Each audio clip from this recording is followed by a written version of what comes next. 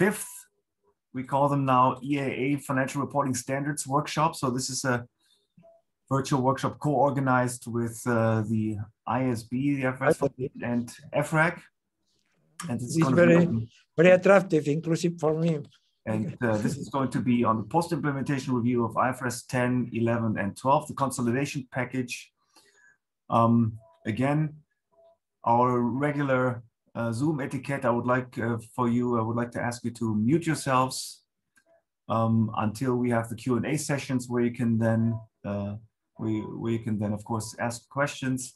I would like to ask you to place your questions into the chat and indicate whether you want to speak up or just uh, preface your questions by um, chat only, and then we can uh, just consider them without um, without um, offering you to speak.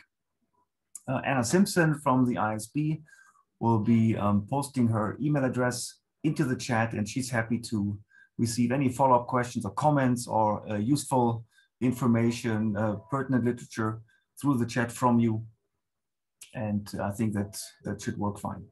So again, this is number five in our series of these EAA financial reporting standards workshops. Um, and this one uh, will discuss um, these topics in the context of the post-implementation review, which is of course uh, one of the most important points in time where academics can really speak to a standard setting issue and really bring evidence to the table that might help, hopefully, the IASB to revise the standards in a way that makes them more decision useful.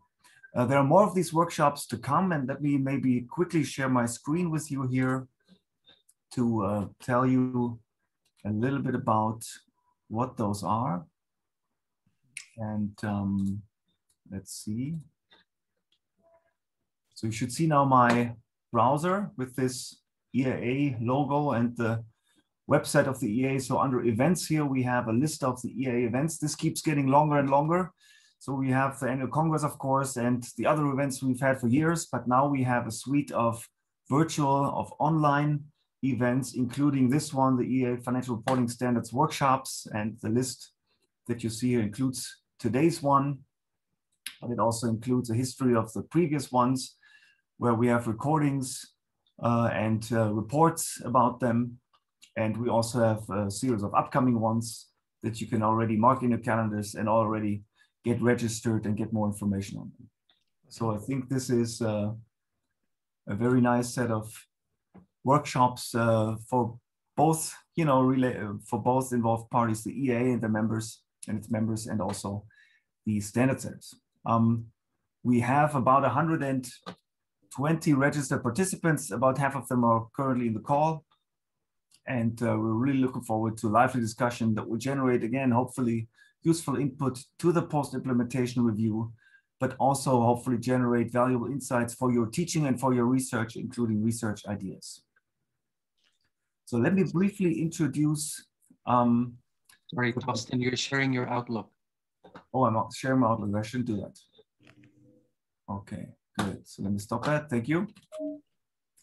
Let me uh, introduce uh, the participants or the active um, uh, the active uh, participants here in this call today. Ann Tarca is going to represent the IASB board. We have Filippo Poli, who is on the technical staff of the IASB and in charge of this post-implementation review. And then we have an academic colleague who will be providing academic views and insights on this consolidation topic. This is Niklas Hellman. Niklas is an associate professor at the Stockholm School of Economics Department of Accounting. He's also the acting holder of the Handelsbanken chair in accounting, and he's a member of EFRAG's academic panel. Niklas was also a member of the Swedish Accounting Standards Board during 2008 to 2016 and was its vice chairman actually for five years from 2011 to 2016. I should also mention that Niklas is the past chairman of the EAA's Financial Reporting Standards Committee, a committee that has as its mission to accompany the IASB's and EFRAG standard setting activities and bring academic evidence to the table. And that committee is currently chaired by Ann Jorissen, who is also in the call today. In terms of the format, uh, we're going to have an overview of the IASB's request for information for this post-implementation review first, and then a summary of academic literature by, uh, by uh, um, the IASB staff and also then a commentary by uh, Niklas Hellman for each of these sections uh, that this request for information contains. And after each of these sections, we will open up for questions and your feedback before moving on to the next one. And again, feel free to post your questions into the chat. I'll be monitoring it. And if you want to speak up, I'd be happy to call upon you to unmute yourself. But if you just like to comment, please preface your comments by the word chat, by the words chat only. Good. Let me now hand over to you, Anne, to introduce the objective of the peer and um, lead us into the topic. Thank you. Thank you very much, Thorsten. And I'd like to thank Thorsten Bahar and other people at the EAA for welcoming us once again to be part of this webinar. We really appreciate the opportunity to be speaking to so many members of the European Accounting Association located in so many countries throughout the world. So we do appreciate this. I must join with Thorsten in saying that PIRs, the post-implementation reviews, are a great opportunity for academics to be part of the standard setting uh, activities. Um, the PIR, as you can see on the screen now, is part of the formal due process of the IASB. And a post-implementation review is carried out for a new IFRS standard or a major amendment. Now it has to be um, implemented at least two years. And in the standards we are looking at today, uh, the implementation period has been longer. Uh, and so the idea of the post-implementation review is for the board to examine whether the standard is working as intended. So we now have a lot of materials, the standard itself, but also the basis of conclusions and other materials that do give stakeholders an idea of the board's process and thinking. Um, so we do have material that helps uh, all of us understand the board's approach and what it was wanting to achieve. So the post-implementation review is about seeing whether those standard setting objectives have been achieved. In terms of the outcomes that come from a post-implementation review, there's a number of things that, that may occur. So it could be that a standard setting project has been added to the agenda. The, the post-implementation review may indicate that there are particular matters that could be addressed um, because the standard, the standard was not working as expected. Um, there could be research activity coming out of the post-implementation review which is exactly what has happened uh, in the case of the Goodwill Project. And in one of our previous webinars, we've discussed the uh, disclosure, the discussion paper um, on uh, Goodwill and associated disclosures. Or, or the board may indeed decide that no action is necessary as a result of the post-implementation review. But a key part of this process is evidence, and that's where the academics come in in terms of being able to provide academic evidence. Um, so that's all from me. I'm going to hand over to Robert in a moment, um, but uh, then later on we'll continue with our exploration. Um, Filippo will kick off for us. He'll be joined by um, Jen Shu from our technical staff and Anna Simpson um, giving us an academic perspective. So I'd like to hand over now to Robert. Thank you. Thank you, Anne. And I, I need to apologize for not introducing Robert properly. I actually, before this call, I asked about the pronunciation of his name, and I learned that it's Stojek. So Robert Stojek from EFRAG, thanks for joining us. Thank you. Uh, I think the most appropriate slide would be slide eight, uh, where we can see EFRAG's process. Uh, I would just to, like to explain that uh, I, I, lead uh, the PIR uh, process project in, in EFRAG, and our aim is to collect European views on whether Mm, IFRS 10, 11, 12 work well and what could go uh, better. Uh, we also collect information about all the uh, consolidation package. So uh, if there is anything that uh, relates to consolidation and uh, we collect that information, we'll be also happy to convey that message to, to the IASB. so the, the, the, process in EFRAG is to collect information. We do not form a position, we form a feedback statement, we form a, a collect of views of uh, all the constituents, and we have already held uh, a number of meetings with uh, our groups, including CFSS, EFRAG TEG, board, FIWG, Financial Instruments Working Group, and insurers. we al already held a, a, user panel, but we're still seeking uh, users' views, uh, and uh, in April we'll have another user panel meeting to collect more information on on mm, on eventual uh, issues that should be raised uh, in, in our reply to, uh, to the IASB's request for information. The most important element now for us is our survey that we have launched some time ago in January 21. And uh, we seek comments uh, of uh, users, preparer, auditors about implementation issues regarding a consolidation package. then after completing uh, after finalizing the service, we also seek some uh, interviews. We hope to have more interviews, more uh, webinars in April. Soon there is an ASCG webinar coming which we hope uh, to, uh, to collect uh, information about consolidation package to be forwarded to the IASB.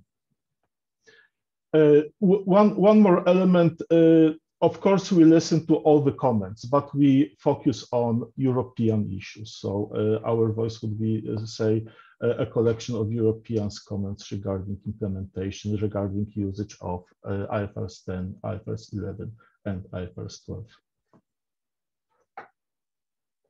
Thank you. All right, thank you, Robert. And I think we can now launch into the first part on IFRS 10. And um, I'd like to welcome Filippo Poli, technical staff member of the IASB, to start with this part. Thanks, Filippo.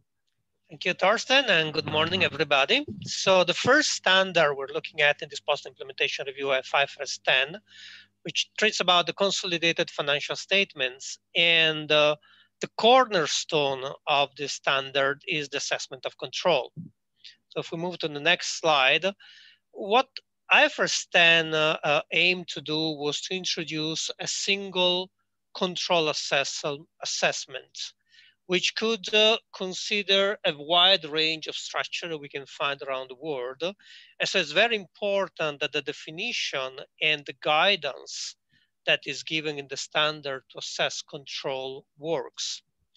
So the definition of control has three elements. So an investor controls an investee when it has the power to direct the relevant activity when uh, it is exposed uh, to variable returns from its involvement with investee, and when it has the ability to affect these returns through its power over the investee.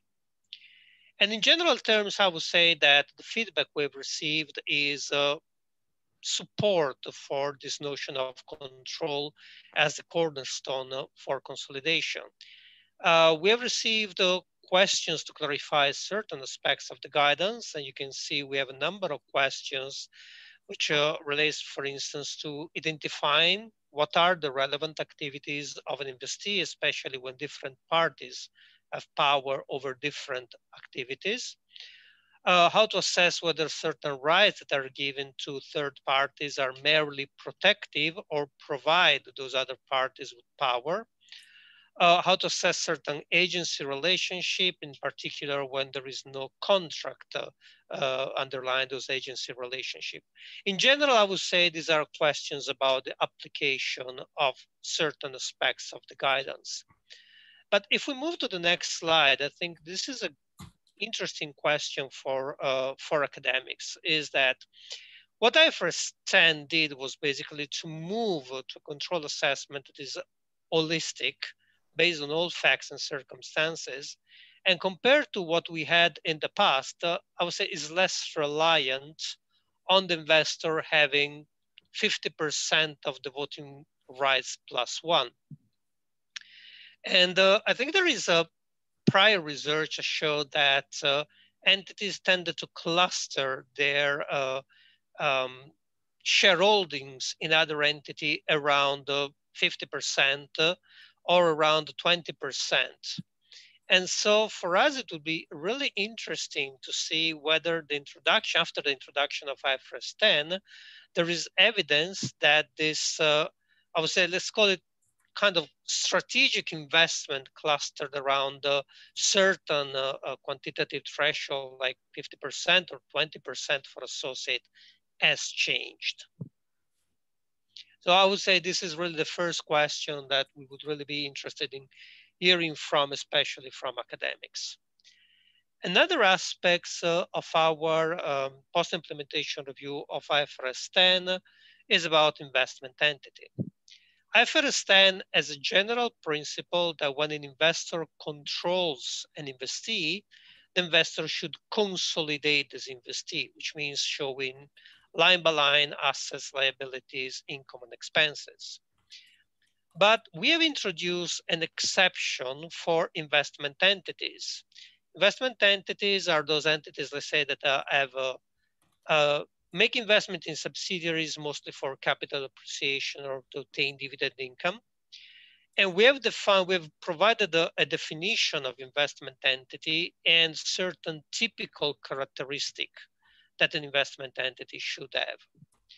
And in general, what we've heard is that there is support to identify a group of entities for which consolidation is not required because investment entities do not consolidate their investment in subsidiaries, but they carry them at fair value to profit or loss.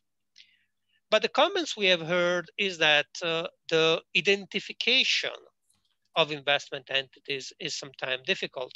And interestingly, we have received comments, I would say, that are a little bit on the opposite side. Some people told us that the criteria may be a little bit restrictive and they may exclude some entities that in their view should be able to qualify as investment entity and carry their investment at fair value. And we heard the opposite comment that the criteria may be a little bit too loose and allow entities almost to make a choice. So if we move to the, sorry, if we move to the next uh, slide, there is an additional aspect about this discussion investment entity. Uh, because some people are saying that while they support uh, the fact that investment entities should carry their investment at profit or loss, uh, they believe that in certain structures, like the one described in the slide, there is a loss of information. In, in, in this case, when you have an investment entity at the top of the group, and then you have an intermediate investment entity, if you look at the financial statements at the investment entity parent level, you will only see the fair value of the investment entity intermediate. And some people say, well, now in this case, uh, the investment entity parent should show the uh, fair value of the operating subsidiaries. So they should not they should not fair value the in intermediate uh, investment entity, but they should go see through and fair value the investment in the operating subsidiary. And so when we hear this kind of comment, I mean, the kind of questions we want to ask is, uh, okay, there seems to be uh, support and agreement that there is a group of entities for which uh, consolidating subsidiaries does not provide the most relevant information, and the most relevant information is uh, providing fair value to profit or loss.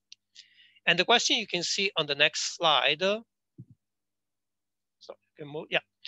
So I would say, what, what is the group of entity for which fair value provides relevant information?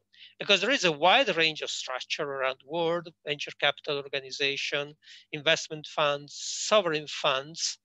And the question is, uh, does the definition and the characteristics that we have identified allow to identify those structures for which uh, using fair value is more relevant than consolidation. So again, if there was any kind of evidence, research about uh, when is fair value more relevant, what are the characteristics of uh, companies that make fair value more relevant than consolidation, that would help us understand if the claims about uh, the need to improve uh, the definition and the criteria for investment entities are, uh, are, are, are well grounded or not. I would say we have a number of other questions, but probably these two aspects are the one we wanted to draw your attention during this presentation. Thank you.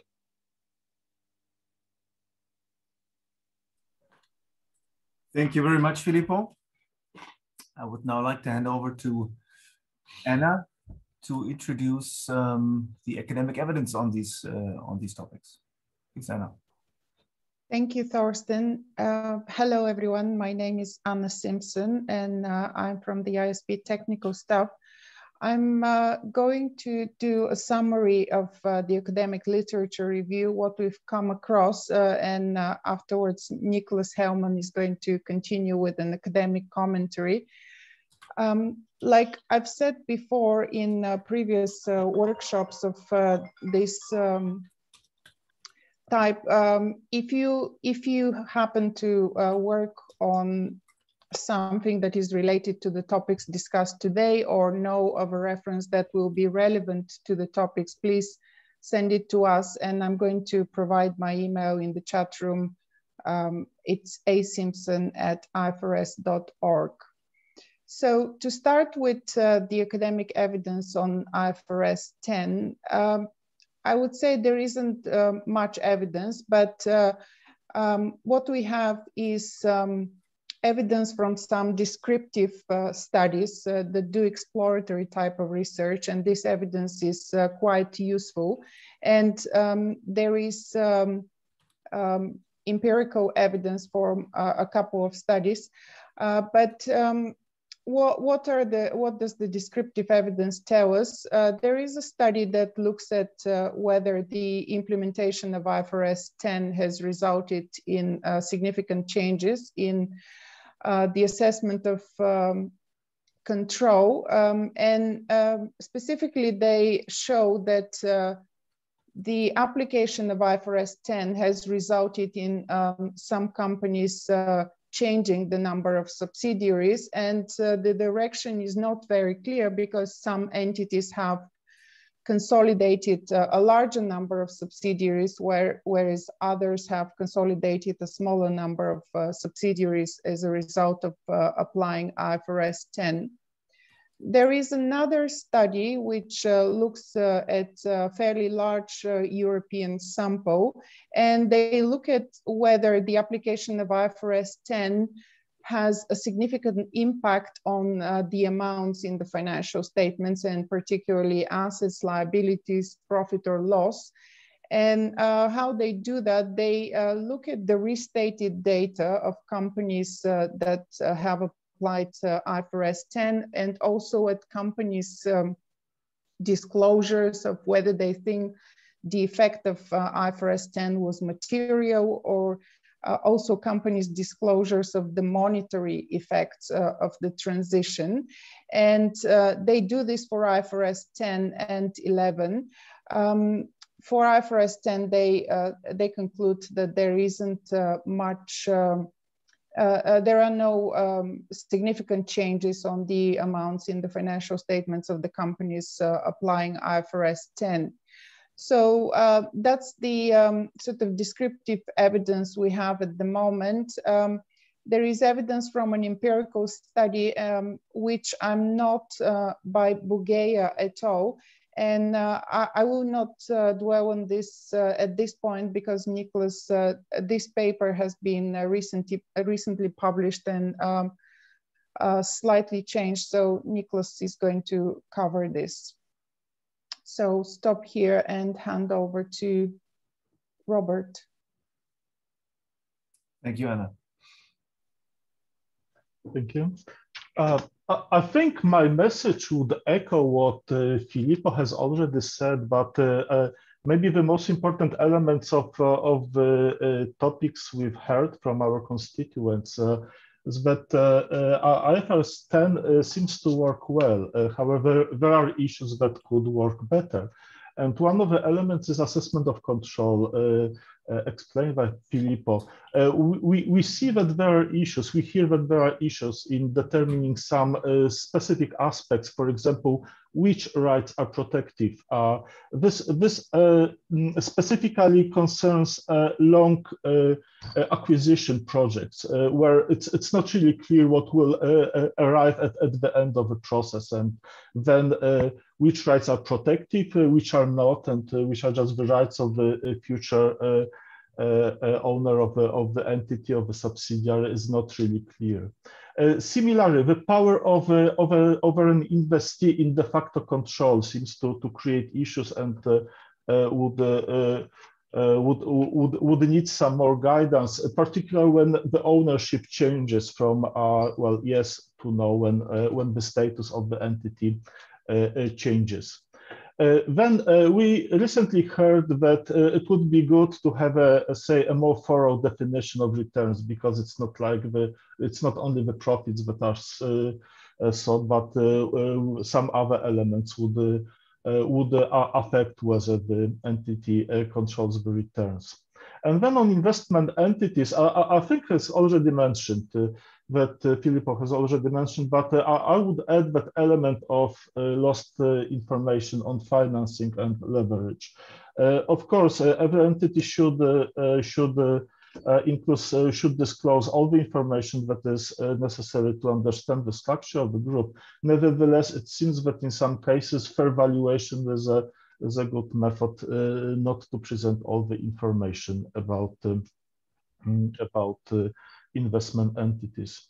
And uh, practical guidance. Uh, we also heard recently that uh, accounting for cross ownerships in group with, with, some financial investment, for example, investing for future pension funds, etc., uh, creates issues, uh, practical issues, how to do it. And uh, it was a, a, general comment that IFRS 10 on the conceptual level is uh, well structured, but on the practical element, how to do those things, maybe would uh, would need some more more uh, examples, practical examples, specifically for smaller entities, not only for for the mm, big groups.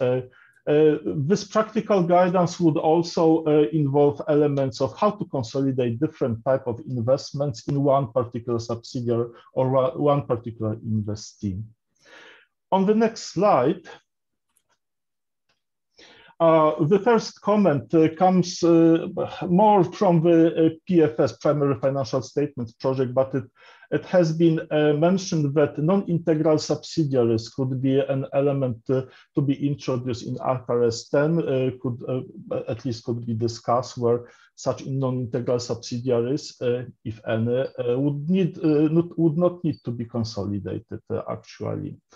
Then a general comment that IFRS 10 would need a more thorough, more clear uh, overarching uh, principle of what is the reason for uh, consolidated financial statements for preparation of financial statements in in opinion of our constituents it would be it would solve a number of those technical problems application problems. And finally uh, recently heard from a, uh, in, in a different meeting, but it uh, seems to be also relevant. Uh, it seems to be challenging to provide a proof that nobody requested presenting consolidated financial statements, which is needed, uh, not to produce consolidated financial statements in subgroups. Of course, there are also local jurisdictions, local law that guides whether consolidated statements should or should not be presented, but in general, the general concept uh, could uh, could create uh, some issues on on on on on the boundaries between IFRS preparation of IFRS financial statements and the and, and law. Thank you. Yes, thank you very much, uh, Robert. Um, okay, so Niklas, if you would like to talk about the academic insights that came to your attention on, on these matters? Be great. Yes, uh, I, I, since I have animations, I would prefer to use my PowerPoint file instead of the PDF. Is that okay if I share screen? Absolutely. Mm -hmm.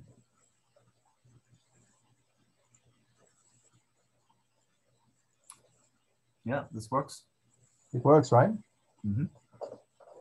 So I'm very happy to have been invited to give uh, some some comments, uh, academic commentary. Uh, and uh, it, for this um, project, uh, as Anna was describing, there has already already been uh, a review of the academic literature, and that is also part of the of the documentation here. So, so that has already happened, so to speak. Uh, so when I started uh, then looking in uh, to this, preparing for this event, um, of course, what this issue of consolidation and the scope of consolidation uh, is a, a, classic issue. Uh, it's something that uh, we have considered for a long time. And Filippo mentioned there is a, a, a lot of companies around 50% um, because uh, it matters so much whether you consolidate or not, right? It has such a great effect on the numbers. Uh, and uh, already in connection here with uh, uh, the adoption of IFRS 10, uh, the, the background, so to speak, was that we have had issues with this in the past, most recently the, the global financial crisis, where we saw that there could be uh, companies uh, under uh, the control. Lehman Brothers were mentioned, even though that was not IFRS. Um, that uh, there could be uh, companies under control, even if you didn't own any shares at all, and things like that. So there was a need for, for a more principle-based approach and to avoid that you could leave out, for example, loss-making firms. Um, and uh, then there is, of course, a longer history around that. We all remember Enron, of course, and the special purpose entities, uh, where they managed to keep uh, a lot of liabilities uh, off balance by, by not consolidating. Uh, we uh, have also in uh, many other countries, of course, um, there have been issues regarding this. In Sweden, we all often refer to Mr. Ivar Kreuger, who had the idea in the late 1920s and early 30s uh, to have different dates for the various uh, companies in his empire. And then he sold the assets uh, more and more expensively around the group, so to speak.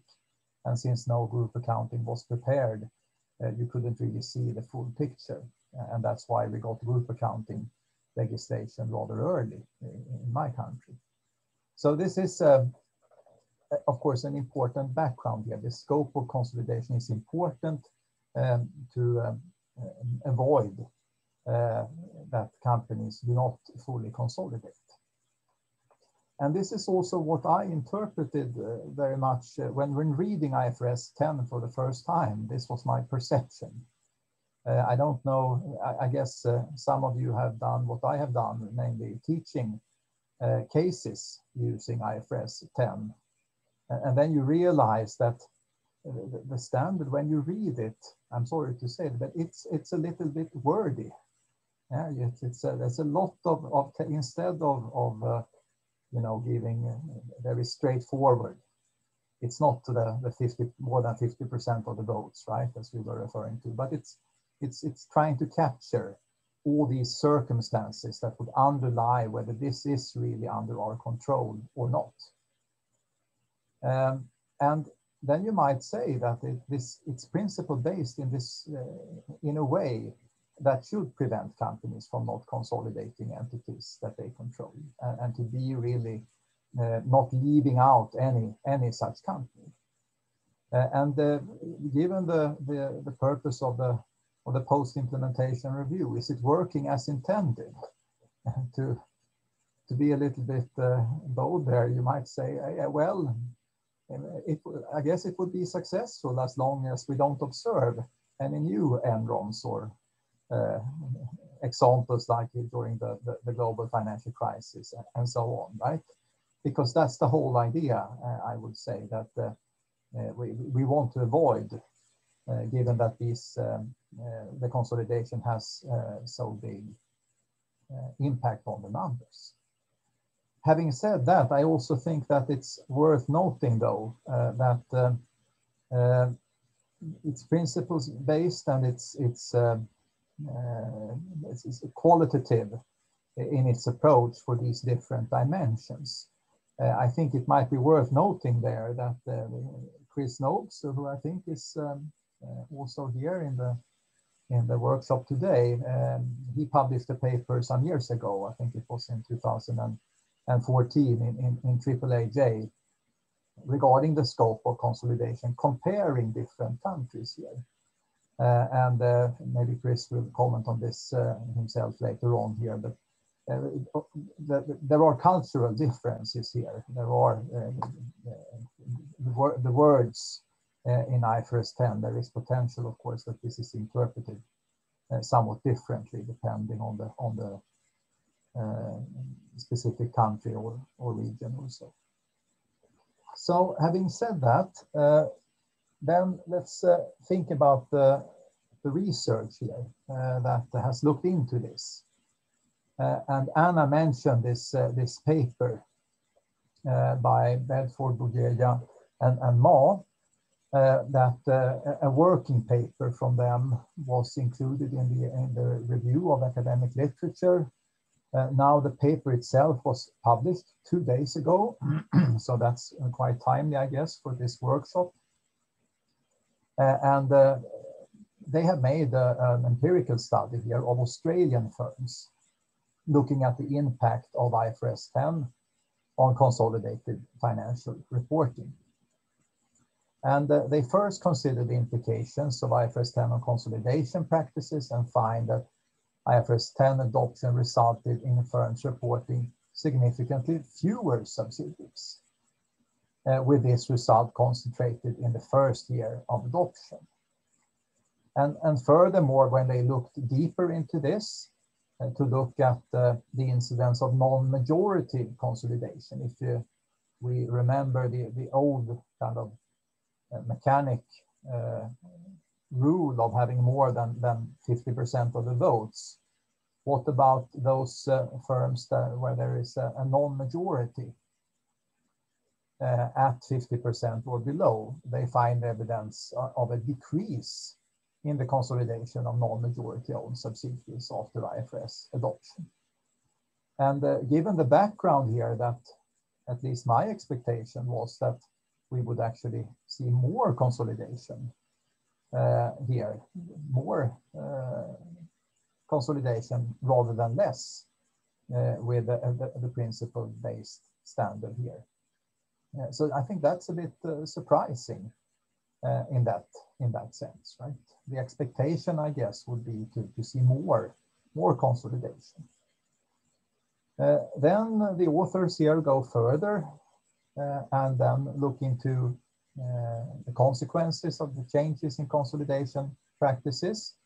And first, they look into uh, uh, the issue here with the consolidation of loss-making subsidiaries here um, well, they look at the profitability effects, profitability effects uh, for firms reporting an increase in the subsidiaries.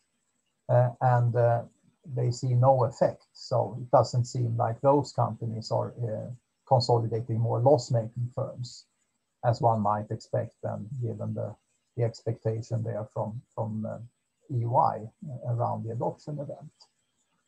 Uh, and then when they look also more into the numbers here, they see that the, the value relevance of equity go up, uh, but not uh, the relevance of, of, of income here, the value relevance. Uh, and then when partitioning the firms based on the directional change in subsidiaries, we document a significant decline in the value relevance of net income after IFRS 10 for firms which uh, consolidate fewer subsidiaries here. Uh, so I guess this one can think about the interpretation. Uh, are there uh, different types of preparers here? Uh, those that uh, do as intended with the standard that leads to more increase in, in uh, subsidiaries being consolidated. and then there is this other group then who is having fewer subsidiaries where it becomes less value relevant. Uh, the net income is there some um, uh, earnings management or account some type of, of, of, manipulation here going, going on. But when you start to think a little bit more carefully about that, I mean, there could be many reasons why you would have uh, uh, a change in the number of subsidiaries with restructuring and, and, so on. I guess it's fair to say that these results are, are somewhat difficult to interpret. Uh, it's uh, uh, not to me at least, it, it's, it's not a, a very straightforward conclusion. So I was uh, thinking a little bit further about this, and I think what I'm missing here in, in, kind of the, the research design, this is not the, I mean, it's a big effort, of course, to, to, to do this study and, and to report it, but, but one thing that I would have wished for, and I think uh, uh, th there is a need for more research here to, to, to get the grip of this. The, the IFRS 10 is part of a package, right? That's the whole idea here is that it's a package of standards. The different standards are related. And just to give you an idea, this is a company I know rather well. It's a listed company uh, in the, the forestry and hygiene business. It's a global uh, company. Uh, and this is their annual report from 2014. Uh, and uh, let's have a look at some changes that they show here. So they have a reclassification this year. Well, they, they do this retrospectively, application of the, of the package, so to speak, here. And then they say, uh, because of the change here, we had reclassifications from subsidiaries to joint ventures. So what used to be a subsidiary is now instead classified as a joint venture, IFRS 10 and IFRS 11. We have a reclassification from joint ventures to associates right? So um, do we have a, joint venture or do we have a, an associated company? Is it joint control or is it um, significant control? And we have reclassification from associates to subsidiaries. So what we thought was significant control is actually control, right? This is perhaps what we what we expected to see a lot of. And then at the top here, you can see that they have also looked into joint ventures here where they used to use the proportional consolidation method. And now they have realized that they do have, when they do an analysis of the shareholder agreements, they come to the conclusion that they actually have controlling influence there uh, in a number of those, those cases. Uh, it might seem strange. Uh, don't they know about their shareholder agreement, whether they have joint control or not? It seems rather surprising. Uh, but I think from a research uh, perspective here, uh, if one only looks at IFRS 10 per se and to see if you have more or less subsidiaries, as in the paper we, we discussed, one has to remember that this there's also the other side. If we get fewer subsidiary, what do we get instead? Do we get a, a joint arrangement or do we get a, an associate? And if it's a joint arrangement, is it a joint venture or a joint operation? Uh, so I think it would be useful to re for research here to, to take firm by firm uh, and look not only at the, the change in the subsidiaries, but at kind of both sides of this, because uh, there, there, will, there will, if it's not a subsidiary, it would be something else. And, and that I think would be, to, to understand how companies deal with this, I think it would be a good idea to, uh, to, to kind of have a broader view and more of a package view um, also for research.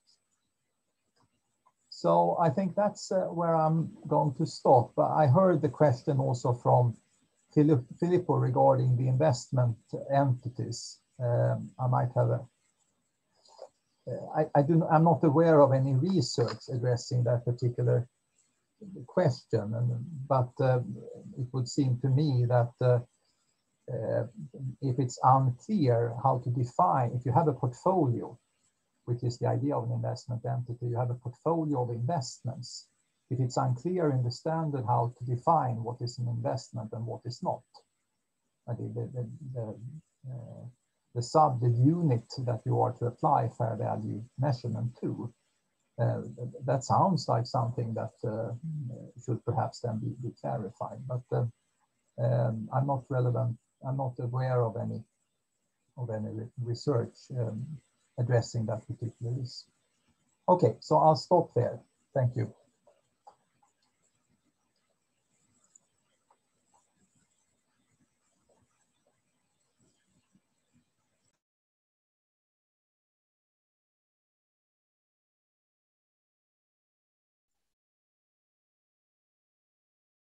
So apologies, I just got thrown out of Zoom for reasons uh, unclear to me, and I just got back in right now.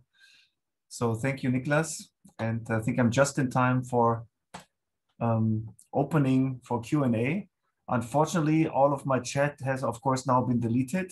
I do remember there was one question before I got thrown out of the meeting. And that I think was by Monomita Nandi. Would you like to unmute yourself and ask your question, Monomita?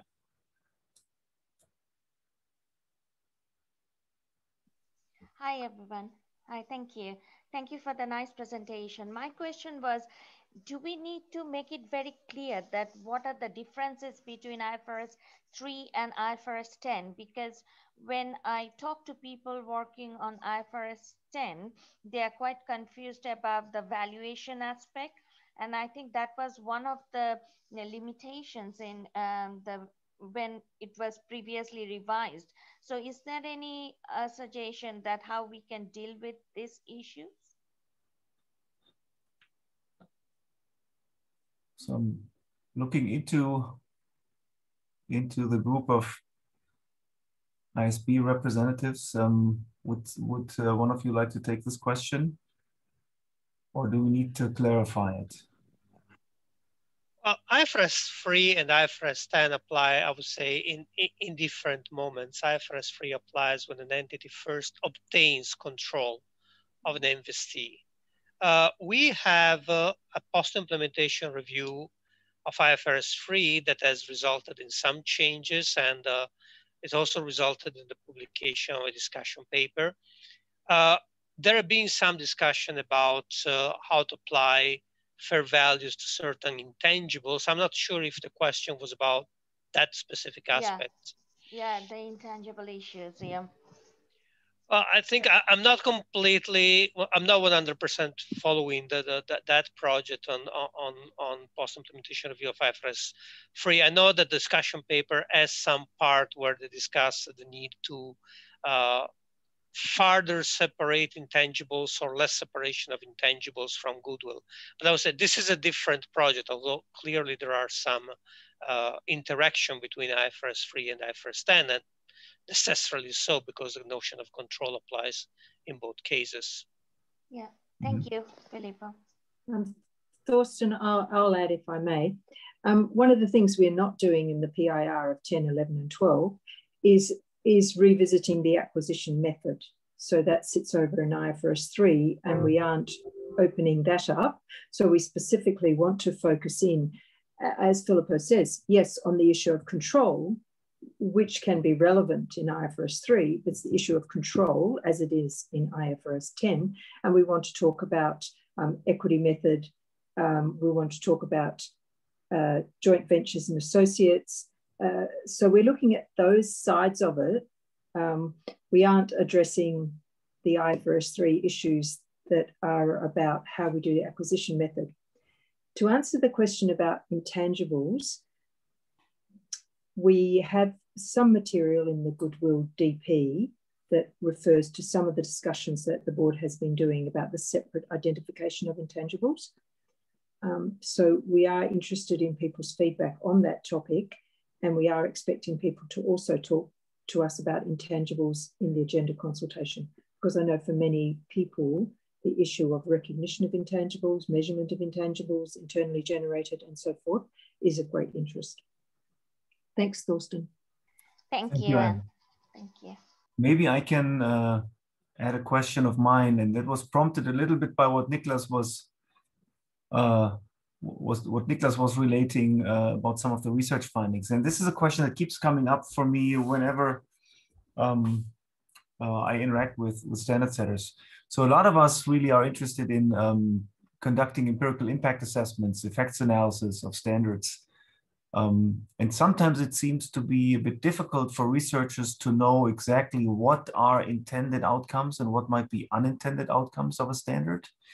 Um, here in this case, for example, the paper by Glusova that uh, Anna Simpson mentioned, uh, you know, documents changes in the consolidation range in the number of consolidated entities. Other papers look at uh, changes in the number of certain types of consolidated entities with certain characteristics.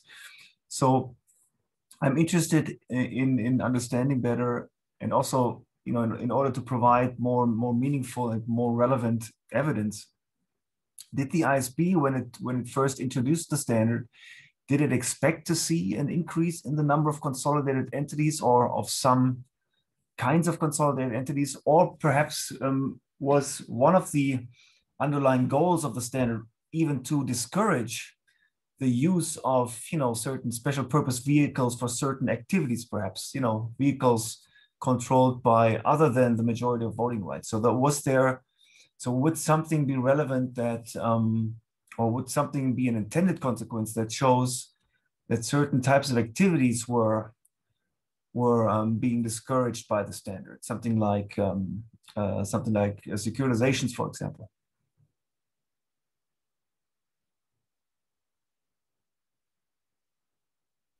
Anna, you want to say something, or shall I? No, start no. I actually, I actually don't want to. I don't want to say anything. I think with special purpose uh, vehicles, the intention was to get the disclosure that was missing, mm. um, and get those incorporated where they needed to be. So more mm. disclosure and also more included where appropriate, where there was control. So I think that was very clearly an intention of the standard to address the issue that was shown up to be a great weakness at the time of the financial crisis in relation to special purpose entities. But um, I don't feel that I can comment on the other things. So if, if Filippo has any comments, I'll hand to him. Uh, no, I'll just add something. I don't think at the time there was an expectation that IFRS 10 should result in more or less consideration consolidation. So let me, I mean, it may seem a little bit of a cop out when say we wanted the standard to result in the right consolidation, mm-hmm. not necessarily more, not necessarily less, because uh, uh, you may incentive there. There may be incentive to avoid consolidation, but there was there could also be incentive to consolidate things that you don't really control because, well, for instance, an entity could say, well, this way it could recognize more profits. So again, uh, there was no specific intent to increase or decrease the number, but really to have uh, an assessment that would be uh, less based on mechanics or quantitative threshold and more really looking at general relationship between the investor and the investee. So what are your rights? Can you really influence the way the investee is operating? Do you really have the power? Do you really have the exposure to the variable returns or not? So again, I understand that it, it, it would make things easier if you could measure these things and say, okay, we expect 10% more and we're getting 10% more, it's working. But unfortunately, that was not objective. Mm-hmm. Thank you, Filippo. I'm, I'm asking because sometimes or oftentimes actually in empirical papers you that, that look at standard setting issues, you see terms like uh, an unintended consequence or an unexpected effect.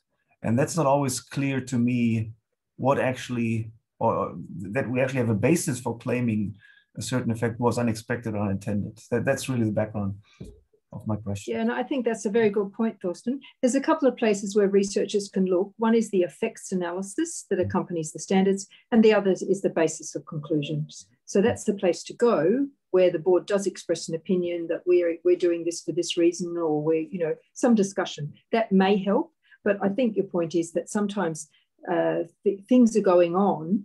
I mean, standards have consequences, and it isn't always clear what the unexpected versus the expected was. Right. So I think it's a good point. Right. And I think it's it's really Thank you. what you're saying is really important for, for researchers who do want to speak to a certain standard setting project, that they really pay attention to what the IASB explicates as uh, intended consequence and really tries to find empirical measures that speak to those intended consequences uh, as best as possible and not simply look at what's available out there in terms of data and then look at outcomes that mm. you know nobody might really uh, have have even considered or that don't really speak to yeah. what the standards intention was. Mm. Okay. Um, one example that will come up later because we're going to look at IFRS 12 today as well.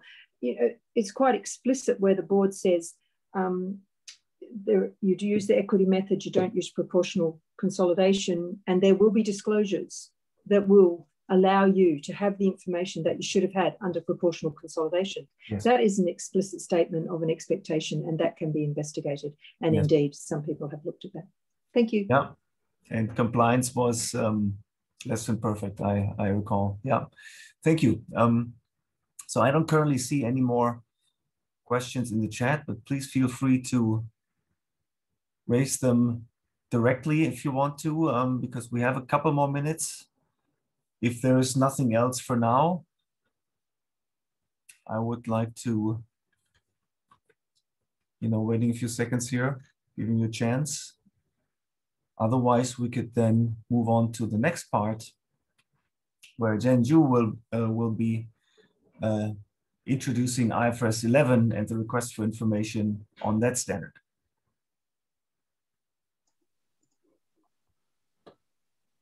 Thank you, Thorsten. Mm -hmm. Hello, everyone. My name is Zhen Xu, uh, a member of a technical staff in our IASB. And now let's move on to IFRS 11, which deals with joint arrangements, either joint operation or joint ventures. IFRS 11 requires an investor to, to determine whether a joint arrangement is a joint venture or joint operation by assessing the rights and the obligation of the parties to the arrangement. Accounting for joint operations and joint ventures are obviously different. Joint ventures is required to account for its interest in joint venture, applying equity method and reflect interest in a single line item on the statement of financial position, as well as the statement of financial performance. And in contrast, joint operators are required to, to recognize share of asset liabilities, revenue, and expenses of a joint operation. When a joint, operate, uh, when a joint arrangement is not structured through a separate vehicle, the classification is, is relatively straightforward as shown on the left-hand side of the decision tree on the slide. But it is, if it, a joint arrangement is structured through a separate vehicle, additional analysis needs to be performed to see if the legal form or the contractual arrangement can actually uh, take precedence. When the contract terms does not, the contract terms do not specify that the parties have rights to the assets and obligations to the liabilities, an entity considers so-called other facts and circumstances as specified in IFRS 11. Um, a typical example of a joint operation classification is when parties of the joint arrangement are committed to buy all the, the outputs of the joint arrangements.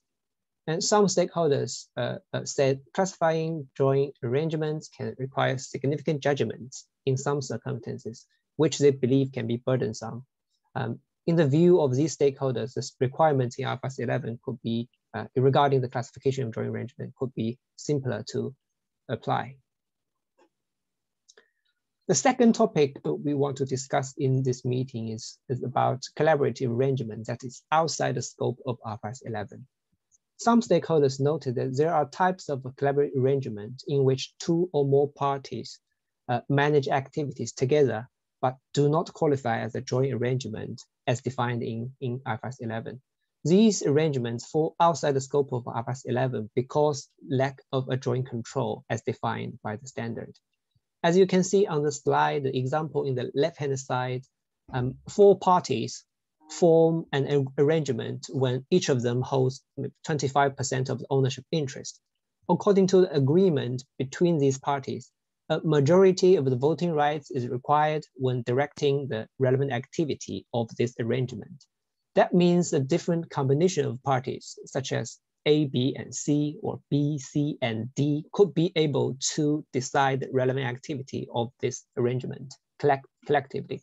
And this is unfortunately not the joint control as defined in IFRS 11, which requires a single combination of parties to act unanimously on relevant activities. So some stakeholders told us that uh, an, an, analogy to joint operation accounting is made to this collaborative arrangement outside the scope of IFRS 11. That is to recognize the share of assets, liabilities, revenue, expenses of the arrangement. But we also heard another view that um, a party simply applies the, the, the, equity method in IAS 28 because the party is able to uh, exercise significant influence over the arrangements through their shareholding. Um, many stakeholders asked us to develop requirements for these types of arrangement to avoid um, potential diversity uh, in the practice. So in this area, our question would be if there is any evidence or research on the use of arrangement in which two or more parties actually manage activities together, but outside the scope of, of IFRS 11. Now I will hand over to Anna for our uh, academic literature review on the this standard. Thank you, Jen. Thank you, uh, Jen. So um, if we can move to next slide, thank you. Uh, let me just clarify about the academic literature review since um, Niklas mentioned earlier, we did uh, an academic literature review when the request for information was uh, first considered by the board, but uh, we are looking to, to find uh, new evidence because we'll be bringing uh, more academic evidence to the board. So uh, if you if you send uh, if you're working uh, on something and send us something, that will be uh, that will inform the post implementation review. And um, what I have here on this slide is uh, only part of the wider literature, and um, I don't want to offend people who have worked on uh, the equity versus the proportionate consolidation method, uh, this kind of uh, studies, they're not included here. We've tried to um, only um, focus on, uh, on the evidence that is from, um, uh, that relates directly to IFRS 11 or it's from an IFRS uh, reporting jurisdiction. So um, what is the evidence? there is some evidence from um, the uh, before IFRS 11 um, that relates to IAS uh, 31 when there was uh, an option uh, between the equity method and proportionate consolidation. So um, uh, there is um, uh, some evidence that the equity method was more informative and also um, that analyst information environment is not affected by either of the methods. Um, so in, in that particular study, the, the authors uh, looked at uh, whether um, at uh, companies, some companies using the proportionate consolidation and others using the, um, the equity method and uh, did not find any differences in, in uh, analysts' uh, um, forecast errors or dispersion and so on. And, and the authors uh, actually concluded that uh, the uh, removal of uh, this option by IFRS 11, um, uh, this evidence was in support um, of the change brought by IFRS 11. Um, and um, what is the evidence that uh, looks at actual data by companies reported uh, applying IFRS 11? Um, there is some evidence from um, uh, an exploratory study, and that's uh, the study I mentioned earlier that looks at uh, the effects of IFRS 10 and 11 jointly. And um, they, uh, uh, they look at um, the restatements uh, of companies and also companies' disclosures of what they think the effects of the application of IFRS 11 are. And, and they show that uh, there were significant, um, significant uh, effects uh, on uh, the financial statements, again, looking at uh, assets, equity, uh, and, and other elements. And uh, perhaps the one study that is uh, most really uh, relevant, an empirical study on IFRS 11, um, looks at a large um, multi-country sample. I think they had 26 countries uh, by Sark, Sarkis et al. And they, um, they're uh, estimating, examining whether the comparability of financial statements was uh, affected uh, after the, um, uh, after applying, uh, companies applying IFRS 11 and they adopt the approach, they um, estimate comparability by mapping uh, accounting amounts into economic outputs such as prices, returns, uh, cash flows. So they um, again find uh, evidence which is um, does not necessarily go into one direction. They they split their sample into clusters depending on whether these countries um, applied um, the proportionate consolidation more than uh, the equity method. And they show that uh, the comparability increased uh, for some of those clusters of countries, whereas it decreased uh, for others. Of course, there are some um, um, observations that could be made uh, whether the uh, this method of comparability can be applied to used to estimate the effect of uh, just one standard, but um, the, these are um, it's not uh, it's not the focus of this discussion today. Um, I just wanted to to make a brief uh, overview of the academic literature that that relates to IFRS reporting jurisdictions, and um, I'm looking forward to to Niklas's uh, academic uh, commentary a bit later on. Thank you. I'll hand over to Robert. Thank you, Anna. Thank you. Uh, regarding what uh, EFRAG has already heard on IFRS 11 on application of IFRS 11, uh, mm, I, I, think it's it's a very interesting uh, issue uh, concerning proportional consolidation. I've often heard that uh, uh, it's it's uh, past, but uh, we still find some evidence that uh, companies in management reports or directors report they still use some elements of proportional consolidation. So, uh, it, of course, we need more insights. We we need to to make more analysis on that, desktop analysis on that. but this keeps to be, I say, reiterated, repeated. Uh, this also was repeated, this uh, also was raised by some of the users that uh, mentioned that uh, proportional consolidation would, would reduce the, uh, uh, the level of forecasting errors for analysis, uh, which seems to be, seems to be crucial.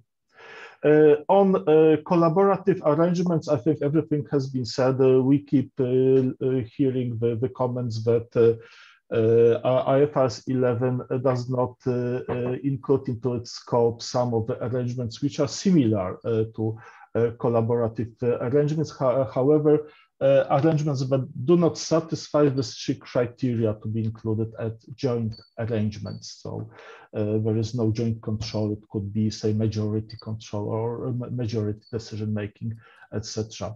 Uh, so we have heard that there are such such such arrangements that would uh, clearly fit in uh, uh, in the idea of accounting for the assets and and liabilities as joint arrangements, similarly to joint arrangements.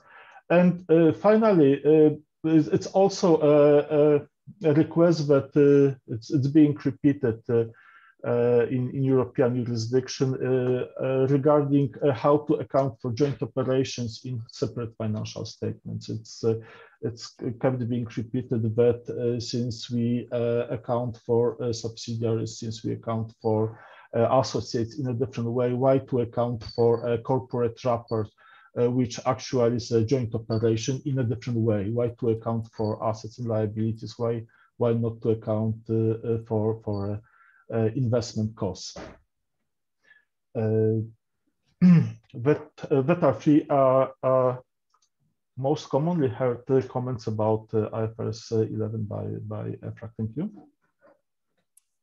Great, Robert. Thank you. So let me now hand over to Niklas for some academic insights. And please, everybody, get ready to have your questions available when uh, we get to the Q&A. Niklas, please.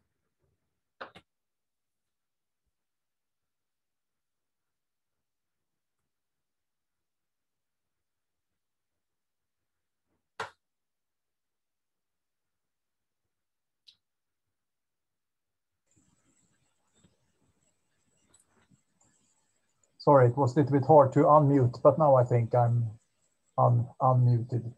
Okay. Uh, so I'm going to start uh, just to, to remind ourselves uh, about uh, the equity method and the proportionate consolidation method because it is part of the uh, of what I want to discuss. Um, and I often use an example uh, from my country, Ericsson. You know that company, I'm sure. The company Ericsson in the telecom business, currently working on the 5G, the 5G area. And a number of years ago, they had a joint venture with Sony, the Japanese company. And they, the, the joint venture was named Sony Ericsson. And in those days, uh, you could uh, then choose uh, between the two methods here, if you wanted to use the equity method or the proportionate consolidation method. And as an analyst, of course, if uh, you, you might be interested in, in, in, looking at both methods here, and uh, the numbers provided in the annual report makes it possible uh, to do that because Sony Ericsson's um, um, statements are, are, are, public. So as you can see here from Ericsson's uh, consolidated financial statements, uh, they have classified Sony Ericsson, the joint venture, as um, uh, as used. The method they are using is the equity method, and uh, what I then do in, in class, uh, actually both with analysts uh, who wants to become certified analysts, but also with master students, looking into comparing the two methods here. For Ericsson, you can see using the equity method, you have the left column. If you instead would uh, change to the proportionate consolidation method, you would have the column to the right. And what are the differences? Well, if you do the proportionate consolidation method, you would, of course, include 50% of Sony Ericsson's uh, sales uh, and all the other items throughout the income statement. Then, if you move from the equity method to the proportionate consolidation method, you would have to take out the profit share according to the equity method. And then you see that Sony Ericsson this year, 50% of that profit was 405 million. So taking out that uh, 405 million when moving from equity method to the proportionate consolidation method. Then you can see that uh, the proportionate consolidation method here has a higher operating income than uh, the profit share from Sony Ericsson.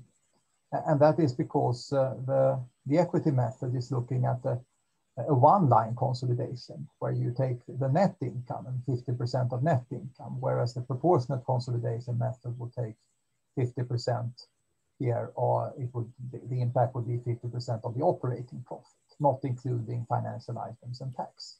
So there is a difference there.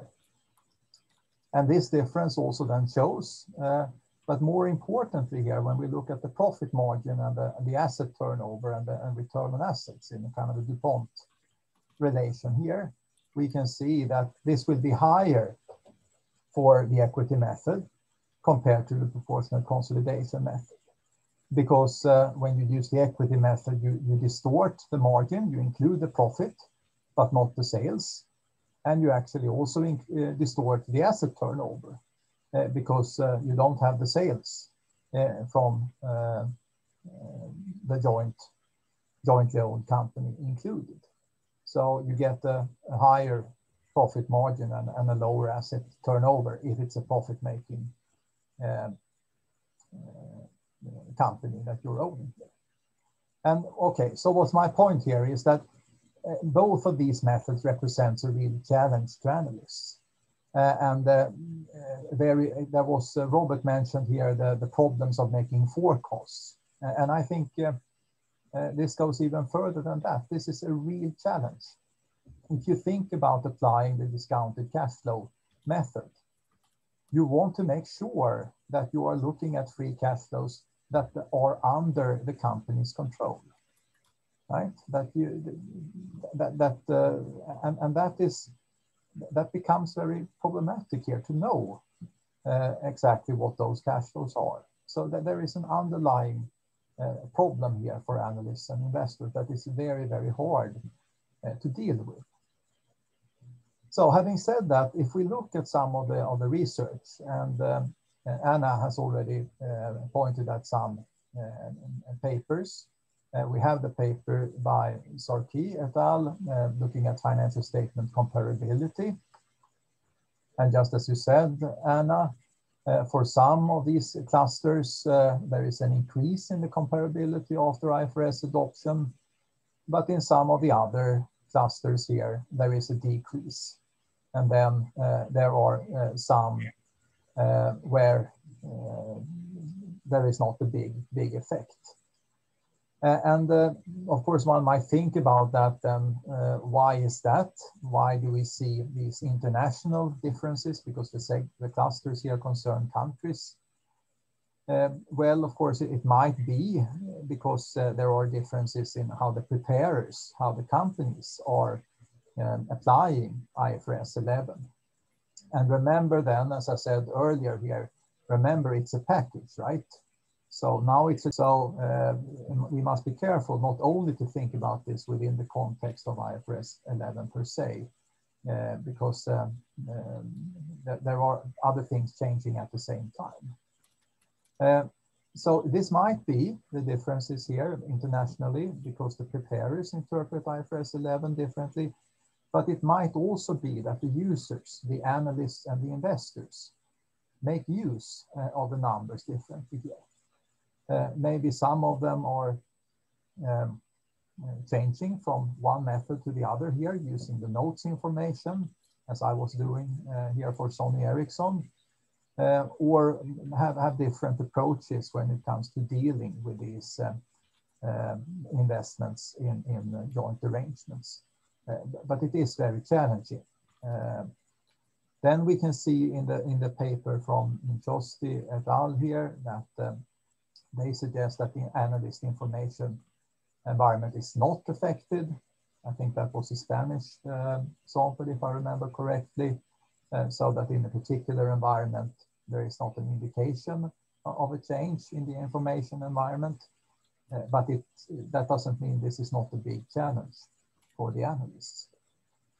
Uh, there is a, uh, a quite new paper. I'm not sure it was in the academic literature review here by Gabbana et al. Uh, 2020, uh, who look into um, uh, a sample of French and Italian companies uh, and uh, the adoption of IFRS 11. Um, and uh, one of their conclusions here, when they're looking at the, the, the uh, the cases where the company had required, where they were required to change to the equity method, uh, they observe a decrease uh, in the value relevance of, of, liabilities and to some extent also of, of assets. Um, and so that, that's also a, a question then forcing the equity method here uh, on on uh, on uh, companies, then there is an indication that that might might have, had this negative effect. So um, the research results are inconclusive, uh, and and uh, I I think I, I, don't know, of course, but uh, I I think what what I would like to do if I had uh, time to do research um, here in this area now. I, I think uh, one area I would like to dig into here, or I know that's one area I'd like to dig into is that it is this very challenging to incorporate the joint arrangements in DCF models. And, and, I think we would need to understand better how this is done in order to also understand what they need to get out from the, from the financial reporting, so to speak. Um, and to what extent they are using uh, the notes here uh, also. Mm. I think that that that is one one important thing, and and that we don't, at least not to my knowledge, we don't know. And then I want to repeat what I said already for IFRS 10. I think there is good reason uh, when you look at firms and the effects of, of IFRS 10 or IFRS 11 here, uh, I think it's better to look at this as a package to think about, okay, so if it's not uh, classified as, as, uh, uh, as one thing here, but something else, we cannot just look at one side of the coin, so to speak. We must look at both. Um, uh, sides here uh, to look at the, the effects of the package uh, on a firm by firm basis rather than each of the standards per se, so to speak. And I think also we should include IAS 31 there, even though that has um, then remained, that is uh, also one place where, where the classification can go, so to speak. So I'll stop there. Thank you. Thank you very much, Niklas. This was a, a whole range of, I think, very relevant observations, not only for this project, but, but you know, for the usefulness of research to uh, standard setting overall and vice versa. Um, so let's open up for questions. Again, all of you in the call, please feel free to post your comments and questions into the chat because after all, this is not one of the, uh, not only one of the IASB's and EFRAG's um, famous uh, education sessions, but also a reciprocal exercise um, where we want to learn from each other. Maybe while you're still mulling over this, um, I can maybe make a, an observation and also uh, phrase a question. You know, when we when we uh, research, when us researchers, when we um, look at standard setting and um, when we try to contribute to standard setting, um, and I mentioned this already in, in the previous section, uh, it, it is sometimes not entirely clear what kind of studies are most useful and uh, what kind of outcomes are most relevant. Maybe one question that, that comes out of this is when uh, Anna, for example, mentioned uh, uh the study that uh, Niklas also related to um, that um, looks at the comparability effects. She said this was um, a relatively new notion and uh, empirical measure of comparability. I still remember when the first paper came out, De Franco et al., that kind of invented this comparability measure and it was lauded as a great breakthrough in academic circles. I'm interested in how do you, in the standard setting world, think about these empirical constructs that we sometimes use to measure certain concepts? So, this notion of comparability, for example, this mapping of underlying economics into accounting numbers uh, and, and using that as a, as a gauge, as a, as a measure to speak about um, the extent to which a standard reaches its goals. Um, well, how do you how do you think about this? Um, I'll start, Thorsten. Uh, so it is really exciting when we can have techniques that can do large scale studies mm -hmm. because IFRS standards being used in so many countries. It's great when people can take a large database and do things with it.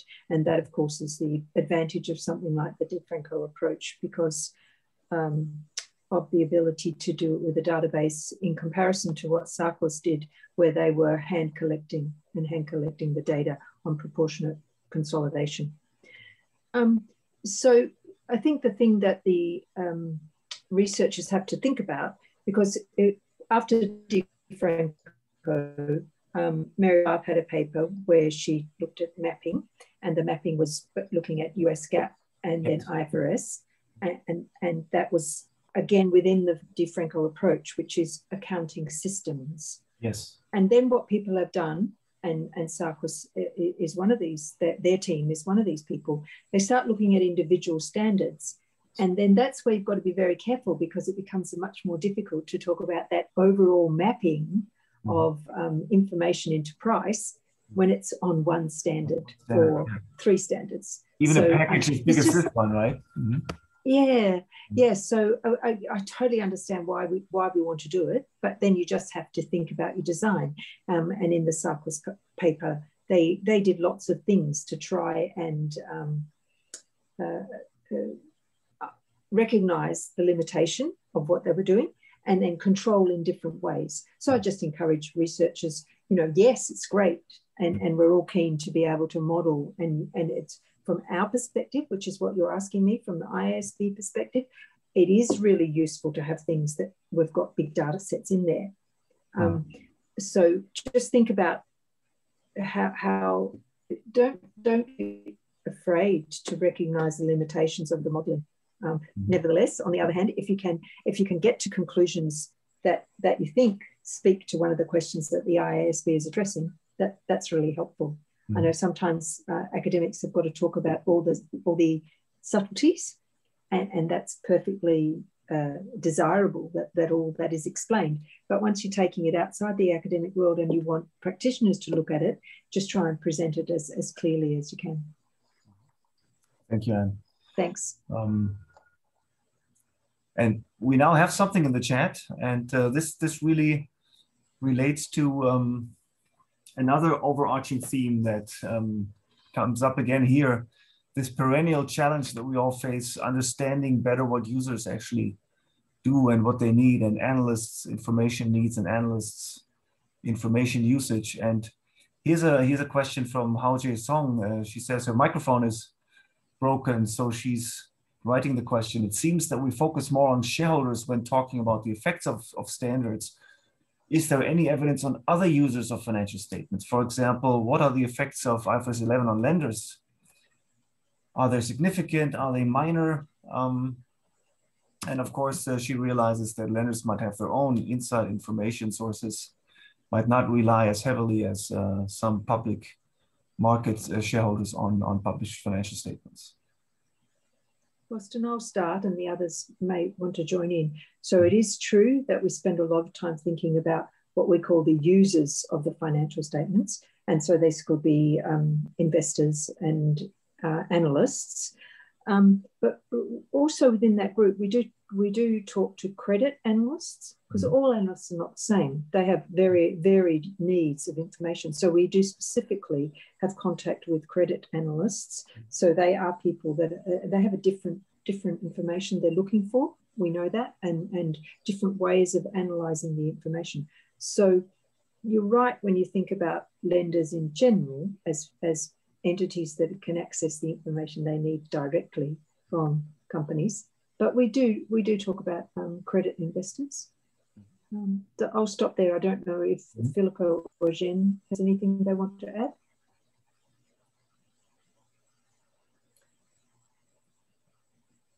Uh, yes, we we did. Hear, yeah. uh, yes, we did you hear go. some from the, the, investors and credit analysts uh, about about uh, specifically for this, for, for example, joint venture and associates. And generally, they welcome because because sometimes it's it's difficult to tell whether it's a compliance problem or a disclosure or it's it's mm -hmm. just a lack of guidance or lack of requirements to disclose specific informations. Uh, basically, so we, we when we present uh, what we call a, a fine a, a, good example of disclosure, basically they welcome the uh, they, they said it's sufficient and useful. That is the general information, general feedback we heard from the users. Mm -hmm. Thank you. And, and um, Niklas, you're probably not, mm -hmm. go ahead. And please. No, you go. You go. No, I was go. gonna, I was gonna uh, put this to to Niklas and, and ask if he's aware of any papers that look specifically at debt market related outcomes, uh, but not sure. You probably would have brought them up, right? Uh, yes, I would. I, I, noted that Robert had a, a, comment there. I think it was about covenants. Uh, mm-hmm. uh, and, and, and it's a very good question, of course, when it comes to uh, it's not only analysts and investors. Uh, mm-hmm. So it's true. I, I was, uh, and I think also the papers have been focusing a lot of, of on analysts and, and also um, value relevance. but it's of course also as the person in the chat is, is, is asking here. What about the fulfillment of debt covenants here? Mm-hmm. And again, what, what cash flows from a joint arrangements is really available for paying back your debt? and, and I'm sure that uh, debt holders are thinking and credit analysts are, are thinking carefully about that, and, and that, that is a challenge. Uh, so uh, I was wondering Ann or uh, or Filippo, if you if you talked or anyone else from the IASB or or EFRAG, if you've talked to to uh, lenders here, uh, have they expressed any view on on how they what they think about the, the, the, current accounting for joint arrangements in that particular perspective when it, it comes to setting uh, debt covenants and when it comes to evaluating what cash flows that are available for, for paying back debt. Mm-hmm. If I can make a comment, I mean, your point about uh, availability of cash flow is something that we have heard uh, a number of times because, of course, there are a lot of interest about disclosure on uh, any kind of constraints about uh, uh, cash moving within the group. So uh, I don't remember specific comments on the lender's perspective, but certainly encouragement to ensure that our requirements require full disclosure of uh, any kind of constraint uh, on distribution of cash uh, and availability of cash uh, at a different level of the group yes is something that we've heard a number of times. Mm-hmm. Yeah, that of course is the the at the heart of uh, of decision usefulness, right? This notion of future cash flows to stakeholders, including of course, the lenders. I think in unless Ann, you um, wanna you wanna pitch in, I, I would yeah after that then yeah I've got just topic. Mm-hmm. Please. One one more thing I'd like to bring up if if uh, I could. Um, so the team in looking at um, IFRS 11. So today um, Niklas and Robert have both mentioned. Well, Niklas pointing to uncertain information under both proportionate consolidation and equity method, and Robert mentioning that some stakeholders have been speaking to them about proportionate consolidation.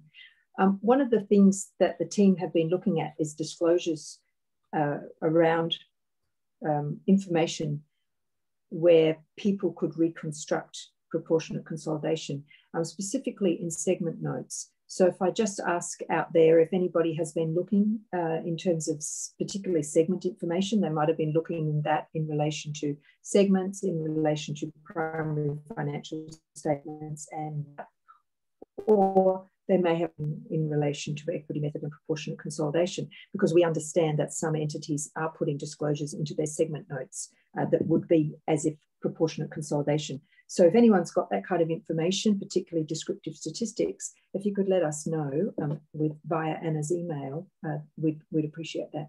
Thank you. So even if I just said uh, we need to move to the next topic, there is a, a nice um, a nice post in the chat. And Paul, I, uh, I you, you're basically writing what I was thinking as well. Uh, and this came up a little bit before as well. Why not give a more broad rethink to everything. Of course, you can't do it all. But uh, Paul, would you like to uh, phrase your question? Thanks. Yeah, it's just uh, why not have a, a greater rethink? And, and uh, the, the, disclosure project is, is generating a rethink about maybe trying to classify differently some integrated, non-integrated types of JVs. The, the equity method is something that we sort of adopted as know, the, the only sort of option more or less to converge with the Americans at the time. Uh, this is not an overriding sort of objective anymore. We know all the problems we have with the equity method. It is an off balance sheet type method. I mean, it, it hides debt that's sitting potentially in, in, in these uh, JVs, which we don't always know very much about. It generates a lot of issues Niklas has pointed out with respect to understanding the impact on cash flow. So I'm just wondering why we're not rethinking a little bit more what to, and how to actually account for these things.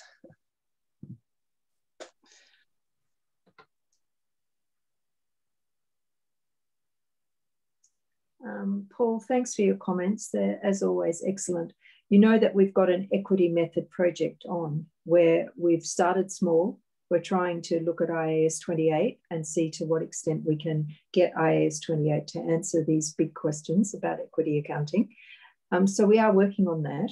Um, but uh, I think it's really germane if you could put those kind of comments you've just made via a comment letter into the into the consultation process because the staff are very careful about considering everything that they receive. To answer your question, why we don't do these bigger rethinks, because it would seem bigger rethinks are needed on quite a few things. Um, it, it's a lot to do with the um, checks and balances or the pressures, the pulls and pushes within the standard setting system. You know, the, the um, push to get solutions and answers in a timely way um, and the resistance to have major rethinks. There's a lot of people out there that just want business as usual. They don't actually want us to fundamentally change. And, as when, when you've been around the business a long time, as some of us have, and you look what's gone on, you can identify where something seemed to change for reasons like convergence rather than a sound theoretical reason for the change. And therefore, it, once they're ingrained and in operation, it's hard to unpick those. Not impossible, but hard. So we do need encouragement for the big, the big thinking. Thanks, Ann. I'll stop there. Thank you. So th this is an encouragement for the Financial Reporting Standards Committee to tackle this uh, this project in the comment letter. And Paul, you're invited to join. okay, so let's um, move on to the third topic, which is no less interesting. This is about IFRS 12 and the disclosures related to uh, all of these interests in other entities. Uh, Jen, would you like to introduce, please? Thank you, Thorsten. Uh, in the first phase of our project, we received limited feedback on disclosure requirements in IFRS 12. And uh, some stakeholders asked for additional information to be disclosed and other stakeholders found some of the requirements excessive. Um, actually, in the recent outreach activities we conducted with investors, we've heard some positive feedback that useful and sufficient information is disclosed by entities. However, we also learned from our stakeholders that insufficiency of information related interest in other entities in some situations due to lack of compliance, as I said, or boilerplate disclosure. For example, some investors said disclosure related to the significant judgment or assumptions made when determining control, drawing control, significant influence, sometimes does not provide useful information uh, for investors and to understand the relationship between an investor and its investee.